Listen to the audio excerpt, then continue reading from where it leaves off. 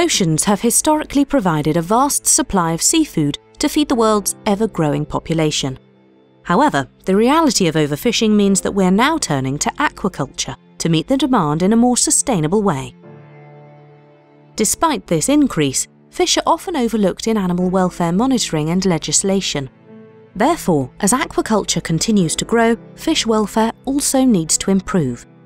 Fish are frequently facing stressful situations in aquaculture facilities. If the fish considers a certain situation as threatening, a physiological response is initiated to help the fish cope.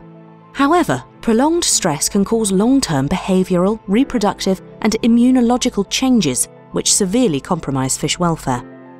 Assessing stress levels is vital in aquaculture, and this is usually done in research by measuring cortisol in the bloodstream.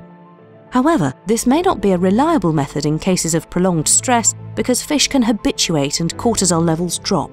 So how can we measure chronic stress levels in fish in a reliable manner? The WELFISH project aims to characterise the gilthead sea bream stress response and identify molecular markers of compromised welfare. This is done by using a multiomics approach to explore the impact of stress on genes, proteins and metabolites at different organs and body fluids. This approach will help develop rapid, standardised and accurate tests to assess the welfare of farmed fish in the future.